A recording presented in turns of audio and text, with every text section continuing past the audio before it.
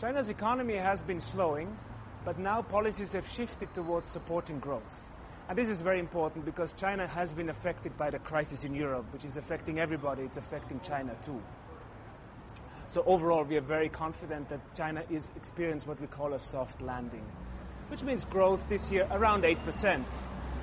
This is less than it was in the past, but still it compares very favorably to what's happening around us in the global economy and what other countries are able to achieve. Now, over the medium term, China has tremendous potential.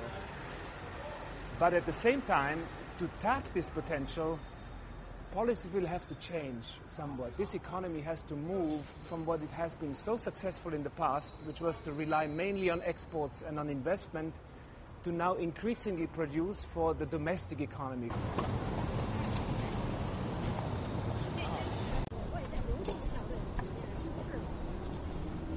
We now have seen three property cycles over the last 10 years. And there is a need to reduce these boom and bust cycles in the property sector. And therefore, reforms, for example, in the financial sector are very important so that people can put their savings and investments not just into the housing market, but have other outlets for savings in other areas of the economy.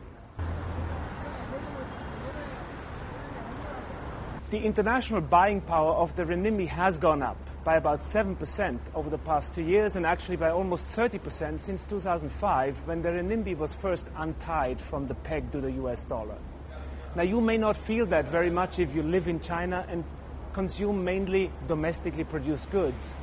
But you certainly can buy more imported goods from China, or when you travel abroad, you're better off today.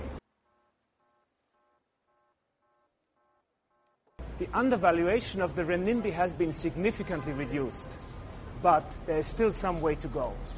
So the IMF currently assesses the renminbi as being moderately undervalued, and we do expect and hope that over the next few years it will continue to appreciate gradually.